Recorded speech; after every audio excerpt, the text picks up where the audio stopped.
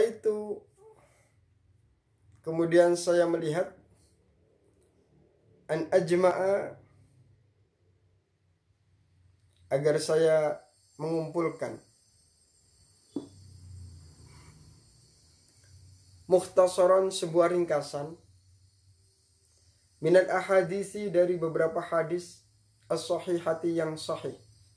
Jadi tidak usah khawatir. Belajar kitab Riyadhus Shalihin, hadisnya sahih enggak? Akurat enggak? Enggak usah khawatir. Imam Nawawi itu pakar hadis. Beliau sudah menyatakan bahwasanya dalam kitab ini hadisnya sahih. Ya udah, kita serahkan pada penelitian Imam Nawawi. Beliau jauh berpengalaman tentang hadis daripada kita. Mustamilannya mencakup alama atas perkara yakunu yang ada apa perkara tersebut torikon sebagai jalan. Ya, kitab ini akan menjadi pembimbing jalan. Li sahibi bagi orang yang memiliki muhtasar, yang memiliki kitab tersebut. Sebagai jalan ilal akhirati menuju akhirat menuju ibadah. Jadi ada amal-amal perbuatan yang kita lakukan di dunia tapi hakikatnya itu untuk akhirat. Salat kita, ibadah kita. Kalau ikhlas lillahi taala. Wamuhasilan dan menghasilkan. Liada bihi liada bihi. Pada adabnya orang yang memiliki kitab tersebut. Al-batinati yang berada di dalam hati, di batin, dalam hati. Meninggalkan uh, untuk apa? tawadu, khusyuk, uh, muraqabah, selalu merasa dipantau oleh Allah Subhanahu wa taala. Meninggalkan sifat sombong, takabur, ujub, hasud dan lain sebagainya.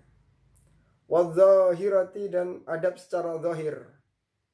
Menjaga perasaan dengan sikap. Jami'an yang mencakup atau mengumpulkan litarhibi untuk mendorong, menyenangkan. Mendorong untuk orang semangat melakukan kebaikan-kebaikan itu. Seperti keutamaan tahajud, apa, keutamaan sholat duha, apa dengan melihat hadis-hadis ini kita semakin semangat lagi untuk beribadah. Wat tarhibi dan menakut-nakuti dari hal yang haram. Oh ini dosa kita tinggalkan. Oh ini dosa kita tinggalkan. Oh ini haram, jangan didekati. Wasairi anwa'i adabis sadihina dan semua macam-macam adab orang-orang yang berusaha mendekatkan diri kepada Allah. Salik orang yang mengambah, orang yang menempuh jalan menuju Allah Subhanahu wa taala. Saya mengumpulkan kitab Mukhtasar ini agar menjadi jalan bagi orang yang memilikinya agar dia beradab dengan adab yang baik meninggalkan hal yang tidak baik agar dia semangat beribadah melakukan apa yang dilakukan oleh orang-orang saleh. Saya kumpulkan di sini min ahadis zuhdi dari beberapa hadis yang membahas tentang keutamaan zuhud. Zuhud itu eh, tidak suka dunia. Walaupun dia memegang harta banyak, harta itu tidak ditaruh di dalam hatinya. Dalam artian ketika dia butuh untuk agamanya, untuk menolong, untuk keluarga, untuk apa, dikeluarkan semuanya. Dihabiskan semuanya untuk Allah Subhanahu wa. Wariyadatin nufusi dan merawat beberapa nafsu. Nafsu yang jelek hati yang terkena nafsu yang jelek itu bagaimana sebagaimana hati yang sakit dia harus diobati. Harus diobati. Bil akhlaki dan menjernihkan akhlak. Hal yang makruh ditinggalkan apalagi yang haram. Yang khilaful aula ditinggalkan melakukan perkara yang terbaik yang terbaik yang terbaik. Wa taharatil kulubi dan pembersihan-pembersihan hati. Wa ilajiyah dan menangani al-kulub ditangani penyakit-penyakit yang kronis di dalam hati itu. Yang bahaya. Seperti ria, pamer, bahaya itu. Wasyanatil jawarihi dan menjaga anggota tubuh dari halal haram seperti mencuri, melotot kepada anak kecil sehingga dia takut, mendengarkan ghibah, melakukan ghibah lisannya. Ini kita hindari. Wa izalati wijajiha dan menghilangi bengkoknya al-kulub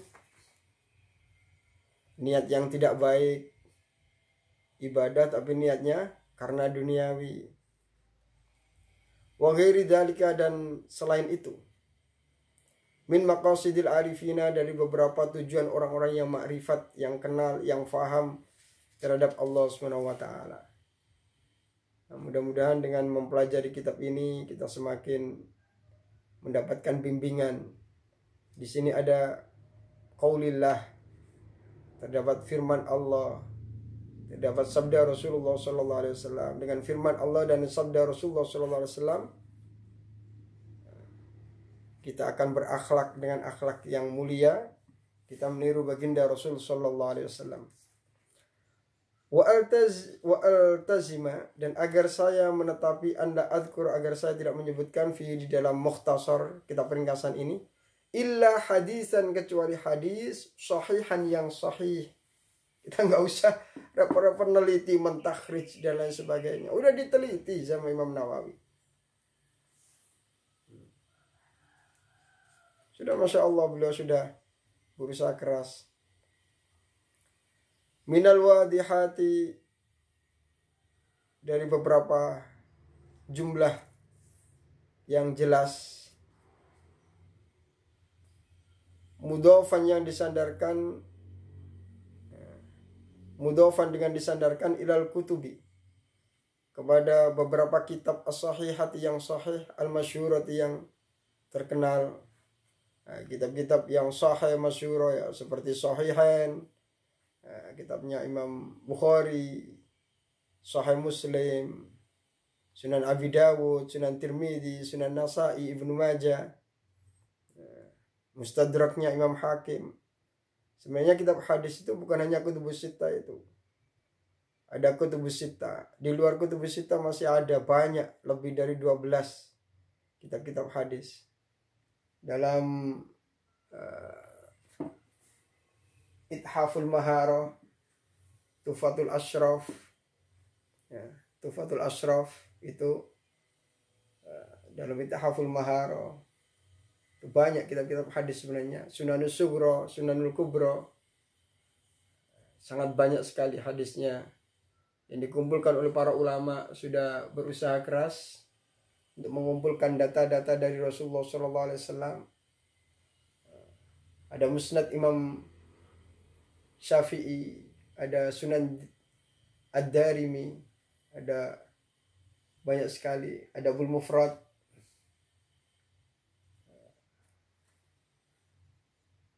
Banyak sekali ya hadis-hadisnya Rasulullah SAW yang telah dikumpulkan oleh para ulama.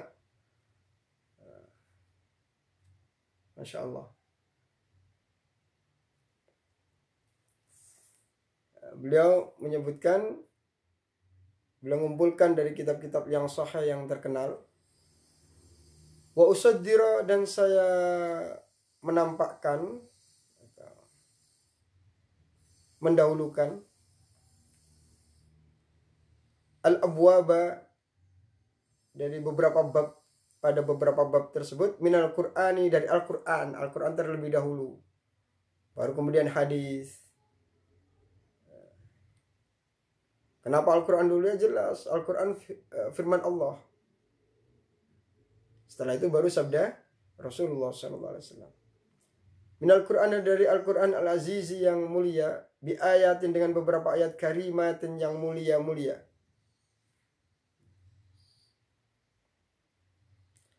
Wa wasyiha ma yahtaju ila dubtin. Wa wasyiha. Dan saya menjelaskan ma perkara yahtaju yang butuh ila dubtin untuk di uh, diperjelas ada titiknya di atas, ada titiknya di bawah, titiknya dua, titiknya satu. Dijelaskan. Biar tidak salah paham. Terkadang orang menulis salah ketik dan lain sebagainya.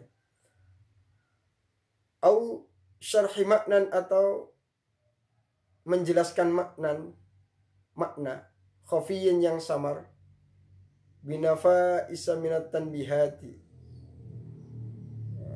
Binafa isa dengan perkara-perkara yang baik jamaknya nafisah.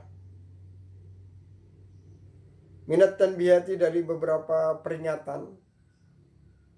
Tanbihat jamaknya tanbih menjelaskan menggugah wa idza qultu dan ketika saya mengucapkan fi akhiri hadisin di akhir hadis muttafaqun alaih ketika saya mengatakan muttafaqun alaih Famaknau maka artinya dari muttafaqun alaih itu apa? Rawa meriwayatkan hadis tersebut sebab Al-Bukhari, Imam Bukhari, Imam Muslim dan Imam Muslim. Ketika saya mengatakan muttafaqun alaih berarti diriwayatkan oleh Imam Bukhari dan Imam Muslim. Wa arju dan saya berharap intamma jika sempurna apa hadal kitabu kitab ini. Jadi beliau itu ketika ngarang kitab itu yang penting dimulai. Hatam itu nggak harus. Yang penting kita ada usaha. Seperti beliau Imam Nawawi dalam mengarang kitab ini. Beliau juga masih belum tahu apa saya bisa nulisnya sampai sekedar mukaddimah atau sampai selesai. Dan beliau juga berharap, wa arju dan saya berharap intamma jika sempurna pahadal kitab-kitab ini ayakuna agar kitab ini menjadi saikon yaitu penuntun. Lil mu'tani bagi yang orang yang iktina memperhatikan bi terhadap kitab tersebut. Ilal khairat menuntun ilal khairati pada kebaikan-kebaikan. Hajizan yang dapat menghalangi lau bagi orang yang memperhatikan kitab ini mempelajari memahami menghalang-halangi an anwa il qabaih dari beberapa macam kejelekan wal muhlikati dan beberapa hal yang dapat merusak merusak kehidupan di dunia dan merusak kehidupan di akhirat. Wa ana dan sedangkan saya sailun orang yang memohon meminta akan kepada saudara intafa yang mengambil manfaat bisain dengan sesuatu minhu dari kitab ini saya berharap dari saudara-saudara saya seiman yang mau mempelajari kitab ini ayat wa agar ia mendoakan li untukku kata Imam Nawawi. Imam Nawawi masya Allah. Termasuk wali kutub. Meninggal masih muda kedudukannya sangat tinggi ilmunya masya Allah itu masih dengan tawaduk beliau meminta doa dari kita dari orang-orang yang mempelajari kitab ini. Masya Allah, tawaduk beliau. Wali-wali daya dan untuk kedua orang tua saya. Wa dan untuk mendoakan untuk para guru-guru saya. Wasairi ahbabina dan mendoakan untuk orang-orang yang menyayangi kami. Wal muslimina dan semua orang Islam ajma'ina keseluruhan. Jadi yang mempelajari kitab ini jangan lupa doakan yang mengarang. Mengarang kitab itu nggak mudah. Kita nulis 10 halaman, 25 halaman itu capeknya Masya Allah. Nanti masih diteliti lagi, dikoreksi lagi. Masya Allah. Nanti ngambil data. Kalau sekarang itu harus ada referensi-referensi harus disebutkan. Dari mana saja referensinya. Untuk mengambil kadang dari 40 kitab. Untuk membuat sebuah kitab itu masya Allah beratnya. Kadang sampai lupa makan. Berpikir keras. Untuk berkhidmah terhadap umat Sayyidina Muhammad Sallallahu Alaihi Wasallam. Mudah-mudahan beliau Imam Nawawi ditinggikan derajatnya. Mudah-mudahan kita bisa mengambil manfaat dari ilmu beliau. Wa alallahi dan atas Allah atau kepada Allah Al-Karimi yang maha pemberi iktimadi sandaran hati saya. Saya ini hanya bersandar hanya kepada Allah yang maha pemberi saya bersandar. Tidak pada jabatan. Tidak pada yang lainnya. Allah adalah segala-galanya. Tidak ada jabatan yang lebih tinggi daripada Tuhan. Dan Allah adalah Tuhan kita. Tidak ada yang lebih kaya dari Allah.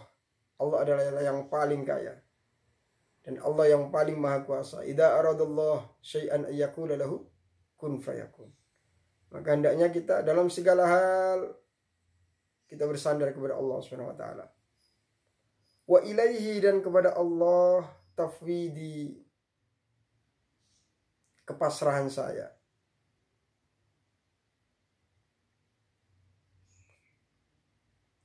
Wastinadi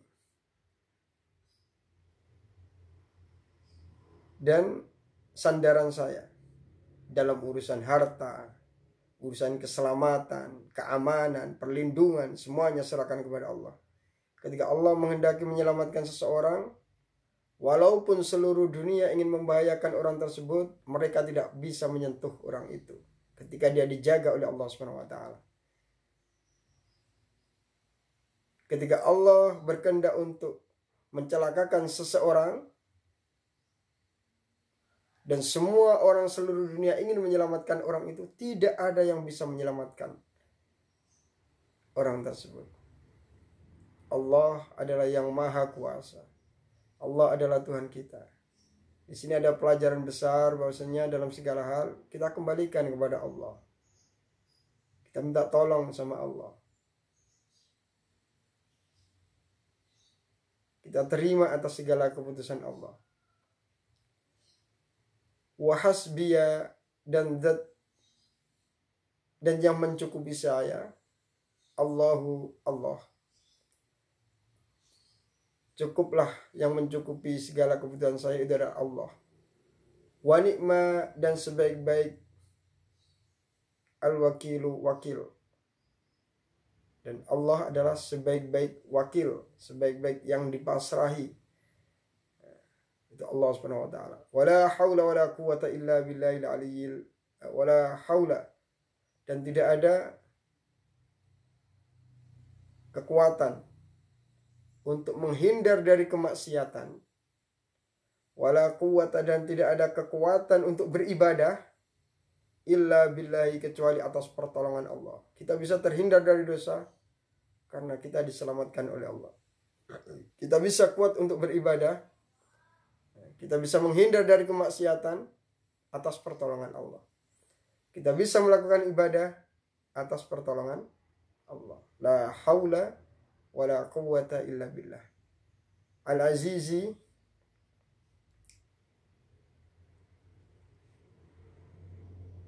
yang maha luhur, Al-Hakimi yang maha hakim, bijaksana.